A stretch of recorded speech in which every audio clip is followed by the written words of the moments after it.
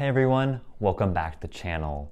Today we're going to be going into more detail about prostaglandins, specifically learning about some biochemistry and pharmacology associated with these molecules. All right, let's get to it.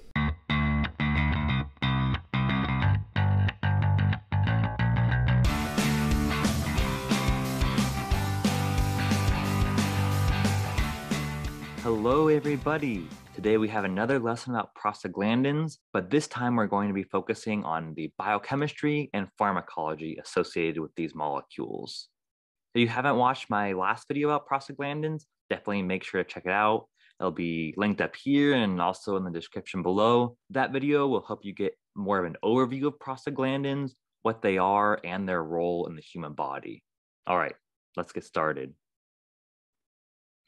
First, let's go over the goals of today's lesson.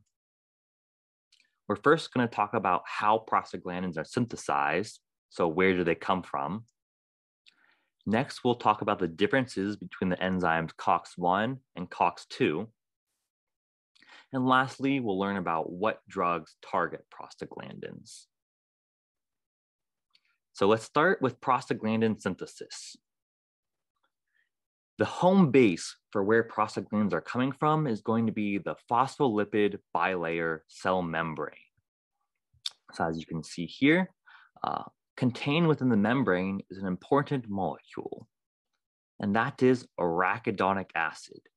So the enzyme phospholipase A2 will uh, extract this molecule from the lipid bilayer, uh, and we can also produce arachidonic acid from free diacylglycerol. So right here, this is the structure of arachidonic acid.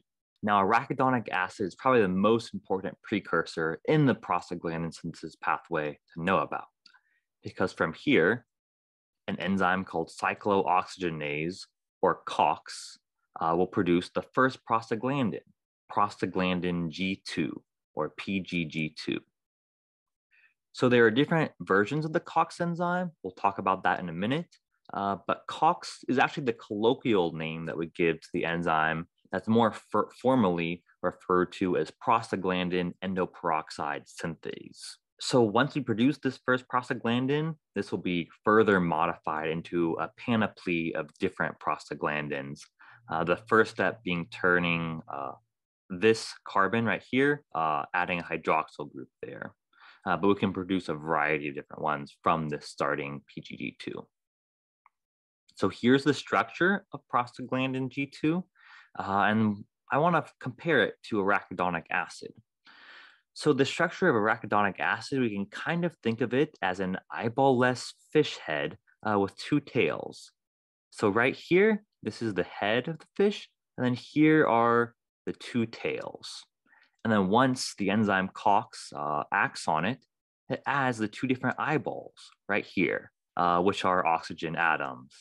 Uh, so you can see here, here's our lovely fish with the eyes, uh, which is our first prostaglandin, PGG2. All right, so recap the synthesis of prostaglandins. We start with the phospholipid membrane. Phospholipase A2 produces arachidonic acid, and then the enzyme COX acts on arachidonic acid to produce the first prostaglandin, PGG2. So I mentioned there are different versions of the COX enzyme and those are COX-1 and COX-2. Structurally, these enzymes are very similar, but there are some important functional differences to know about. Starting with COX-1, we generally uh, consider this version to be the housekeeping uh, enzyme. And by that, we mean that it's constitutively expressed, uh, meaning it's on in the cells all the time, and it plays important uh, homeostatic roles. Uh, probably the most important one to know about being its role in the GI tract, uh, where it plays a role in cytoprotection. Uh, and by that, we mean it helps protect against damage from stomach acid or other damaging agents. And one way it does that is by promoting uh, mucus secretion within the tract. COX2, on the other hand, is not on all the time, but it's readily inducible by things like stress or cytokines, which are inflammatory molecules. And the prostaglandins produced from the COX2 pathway play a role in things like pain and inflammation. Uh, so when we think about things that we want to target with medication, uh, the COX2 pathway is generally what we want to focus on because of the pain and inflammation here. All right, now that we know the differences between COX1 and COX2, we can talk about the pharmacology. And the two important classes of drugs we're going to talk about are the non-selective COX inhibitors and the selective COX2 inhibitors. So let's start with the non-selective ones. So these include a lot of the older NSAIDs, uh, and by NSAID we mean non-steroidal anti-inflammatory drug. And these are medications like ibuprofen and aspirin. Because they're non-selective, they block both the COX-1 and the COX-2 pathway. Uh, so COX-1, if you remember, plays a role in housekeeping and protecting the GI tract. Uh, and COX-2 is the pain and inflammation that we generally want to target. So because it blocks the COX-1 pathway, it will cause GI distress and complications. So potentially things like peptic ulcers. So if you've ever taken ibuprofen or aspirin and had stomach cramps, uh, this is the reason for that because we are also blocking the COX-1 uh, pathway with GI cytoprotection. And long term, that can lead to things like peptic ulcers. Um, so even though we address the pain and inflammation, because we are blocking COX2, we also get the adverse effects from blocking the COX1 pathway as well. Now we'll turn our attention to the selective COX2 inhibitors. These are drugs that end in the suffix coxib, so medications like celecoxib or lumiracoxib.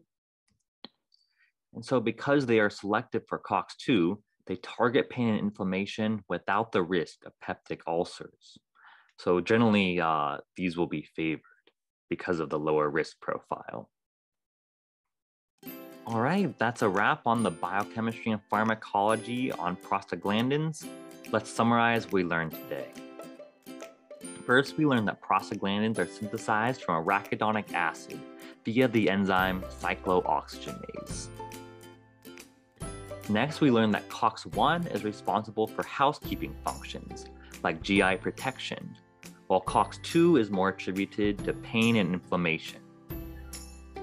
And finally, we learned that non-selective COX inhibitors can cause GI complications like peptic ulcers, while selective COX-2 inhibitors have lower risk. All right, thank you so much everyone for joining me. Hope you enjoyed this video. If you did, like, comment, subscribe, and I'll see you in the next one. Take care.